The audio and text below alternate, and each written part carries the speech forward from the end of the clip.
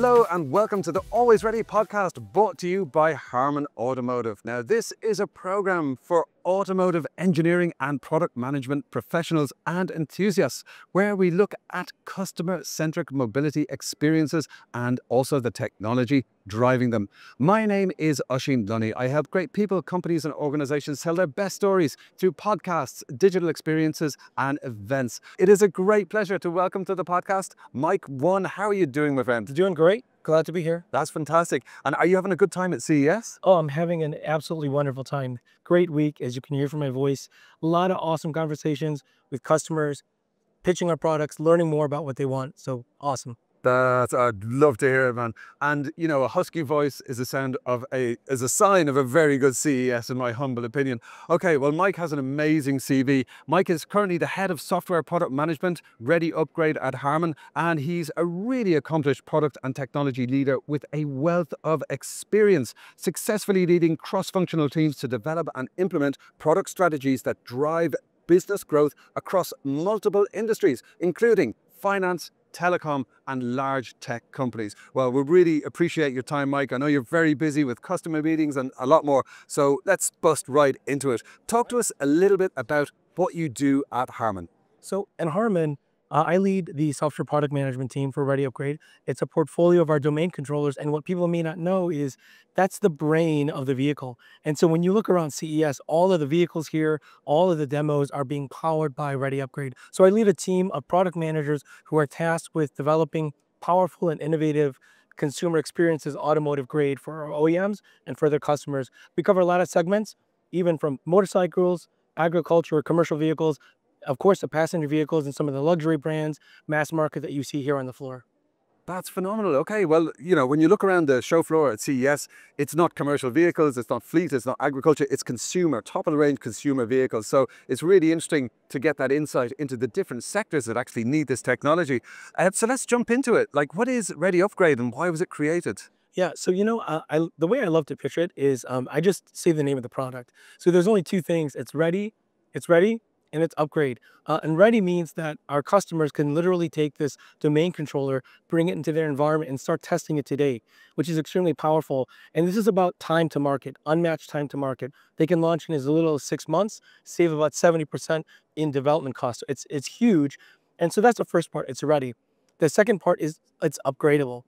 And I want us to think about mobile devices in our personal lives, right? You have mobile devices, you have home technology, you get new mobile devices, new hardware every couple years, you get new software all the time. If you wanted, um, you could take your phone out of your pocket and download a new experience, 10 new experiences right now.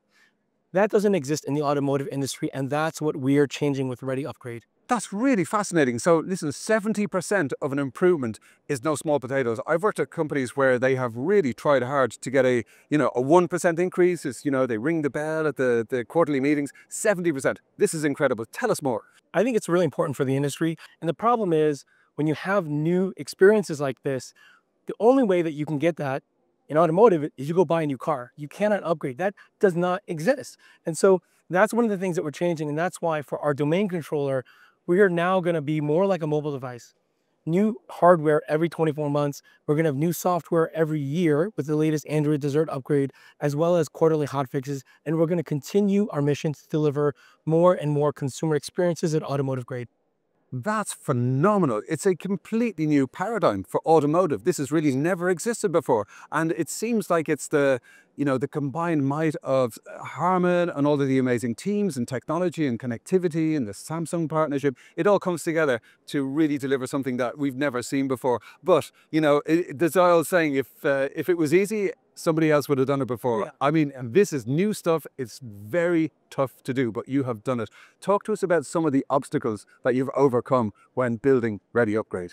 Yeah, so so like you said, it's easier said than done, right? So when you think about hardware and software, we have to think about how do we create a more modular approach that's actually going to scale across different customer segments and different customers, and how do we have software that's going to have rigorous testing so that it's going to have the quality that OEMs expect in the automotive industry. And so we spend a lot of time trying to formulate how this product needs to come together and how do we sustain it and scale it over time for all of our customers.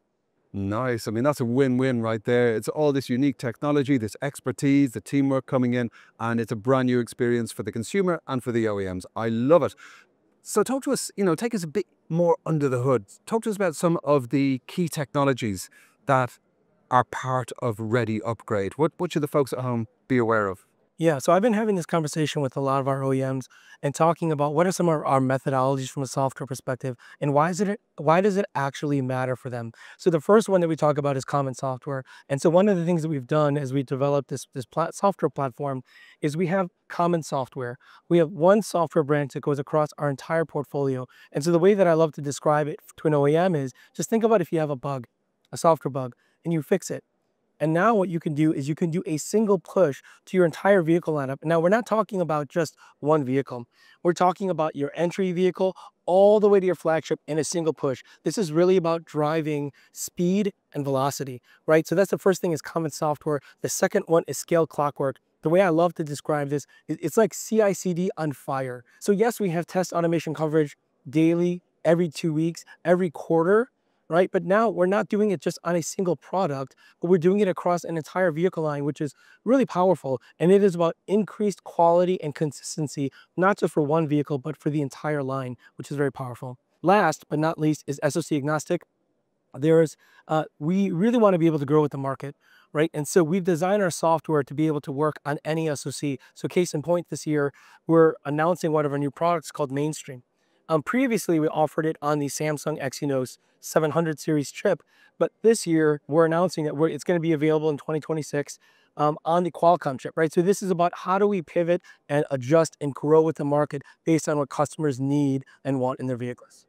Oh, that's fabulous. And, you know, it seems like there's a lot of empathy in there. There's a lot of looking at the customer journey and actually figuring out what the customer needs and wants before they know exactly what they need and want. It's already there in their vehicle, thanks to their OEM partnership with Harman Automotive. Brilliant. Um, now, one of the things you mentioned earlier was improving that time to market. Now, I imagine building one of these cutting edge automobiles is not the, the quickest of processes. There's so many ingredients to go in, so many considerations with manufacturing, engineering, electrics, ecosystems, etc. What impact does the time to market have and, and what's the role of Ready Upgrade in improving this time to market? Yeah, yeah, and I think that's a powerful aspect that I was talking about earlier when I was talking about ready and upgrade because OEMs, and I've been telling them this, and I'm like, look, guys, if you want to take our domain controller home with you today with the hardware and software, you can literally do that and start developing. We have tools, we have developer tools that allow you to do vehicle adaptation, not in sometimes that could take like like six plus months. We can do it in days because we're auto-generating code in the background for some of these these these mappings with Android and the vehicle. And so these really powerful tools that allow OEMs to just launch to market so much faster than they could have dreamed to do before in the past. That is a huge impact. I mean, anything that can help the OEMs stay ahead of the competition, meet those consumer expectations quicker, be the first people in front of them with some of this amazing technology. That's just an instant win. That makes so much sense. Um, but talk to us about some of the new features and functions that Ready Upgrade is showing at CES here in Las Vegas. Our mission is about delivering new consumer experiences automotive grade. And so this year is no different. And our proof point for that is um, everywhere in the, the the floor here at CES. And so we have a new Harman avatar called Luna, and it's part of the Ready Engage family. Behind that is it needs to be powered by a voice personal assistant.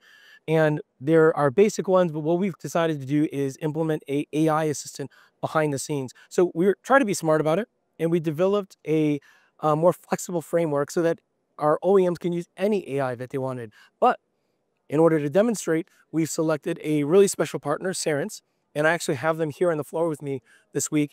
And we integrated the Cerence AI assistant. So this is both conversational and it's intelligent. When you're on the show floor, we're showing these really powerful experiences where you can have hands-free experiences in the car.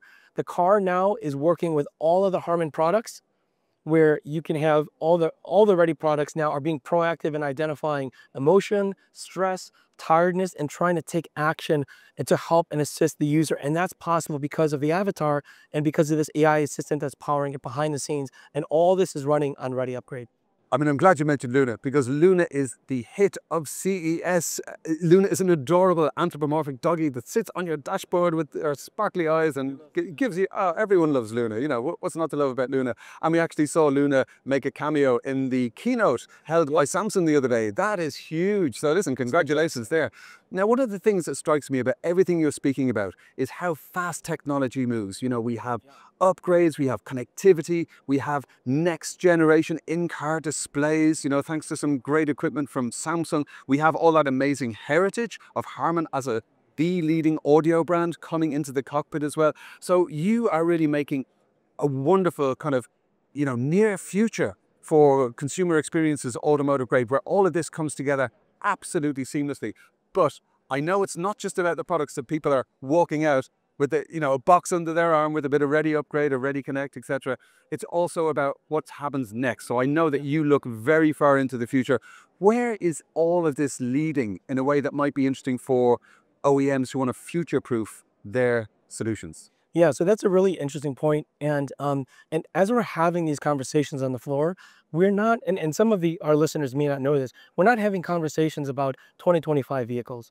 We're talking about vehicles that are much further out in the future, 26, 27, even further out. And so we really need to be able to look ahead. And you know, as I was talking about before, there is this paradigm that's in our lives where we have consumer experiences that come so quickly to us everywhere in our home, on our mobile, but not in the automotive industry. I think what's going to differentiate OEMs is their ability to deliver those experiences in the car and how fast they can do that. And then you think about some future technologies that are coming like autonomous driving. And as we as we progress and achieve higher levels, I think what content you have in the car, what you can do in the car is going to become more important. So we're really thinking out in the future. We're trying to help OEMs future proof and prepare for what's coming because they need to, and we need to be able to deliver these types of experiences faster, and we need to do it with quality that the automotive customers deserve. Well said. My goodness. I mean, it's such an exciting future ahead. You know, you are obviously working with the OEM partners about delivering these experiences. And I can well imagine a scenario in the future where I am in my autonomous vehicle. I'm listening on an amazing Harman branded audio system. I'm watching a movie on a beautiful Samsung screen and it's all getting updated thanks to Ready Upgrade. So this is just brilliant stuff. Mike Won, I know you have got a busy schedule. Thank you so much for joining us on the Always Ready podcast. Oisin, thank you very much. I was glad to be here. Folks at home, I hope you're as excited about the future of automotive intelligence as I am and as we are here at CES 2025. Don't forget to visit car.harman.com and explore.harman.com if you'd like to get your hands on much more cool stuff, interviews, podcasts, content, videos, everything you need to know about automotive intelligence and where it's all going in the future. Please do also share with your friends, family, colleagues and loved ones and spread the word about the Always Ready podcast. Thanks so much for joining us. We'll see see you next time.